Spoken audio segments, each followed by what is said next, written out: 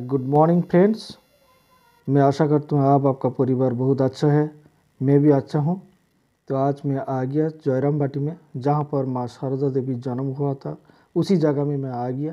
तो आप लोग वीडियो में बना रहिए स्किप मत करें इन तक देखते रहिएगा। तो दोस्तों, ये है जो मंदिर आप लोग देख रहे हैं, ये माँ सिंह वाहिनी मंदिर है। ये ज़्यादा दूर रास्ता नहीं है, जहाँ पर माँ शारदा देवी का मंदिर है। वहाँ से लेफ़्ट साइड में एक रास्ता आ गया। तो ज़्यादा नहीं तीन चार मिनट का रास्ता होगा। तो उसी जगह में भी बहुत लोग यहाँ पर आता है, यहाँ पर वर्शिप भी करता है। और बहुत अच्छा अच्छा जगह है, बहुत खूबसूरत भी जगह है। ये आप लोग देख सकते हैं ये।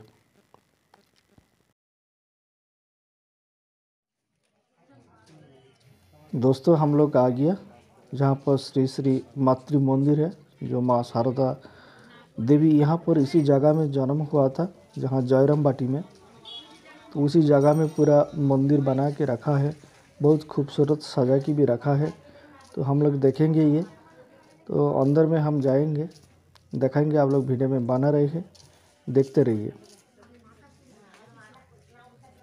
आप लोग जो देख रहे हैं राइट साइड में छोटा छोटा घर भी है। ये मारा, माँ शारदा देवी का घर है। तो हम अंदर में हम आ गए आप लोग को दिखाएँगे, लेकिन वीडियो बहुत स्क्रीन बड़ा नहीं हो रहा है। तो थोड़ा एडजस्ट भी कर लीजिए आप लोग।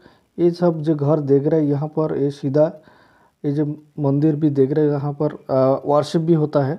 बहुत लोग का आना जाना भी करता है इसका अंदर में, देखभाल भी करता है सब कुछ।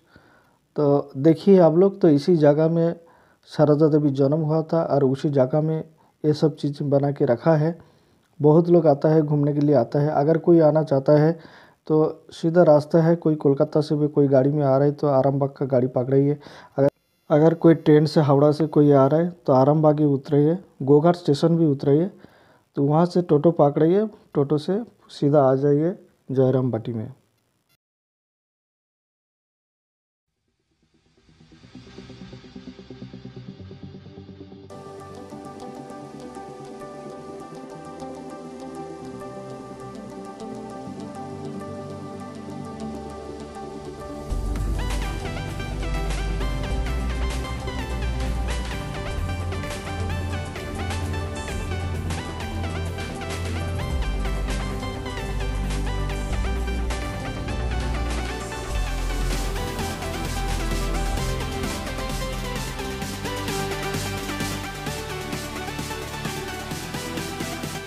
चैनल को सब्सक्राइब करके मेरा फैमिली का हिस्सा बनाइए। आगे बढ़ाइए प्यार दीजिए, ताकि मैं नए नए वीडियो बना सके और आप लोग को देख सके। तो चैनल को सब्सक्राइब करिए लाइक कमेंट्स और शेयर भी करते रहिएगा। Thank you very much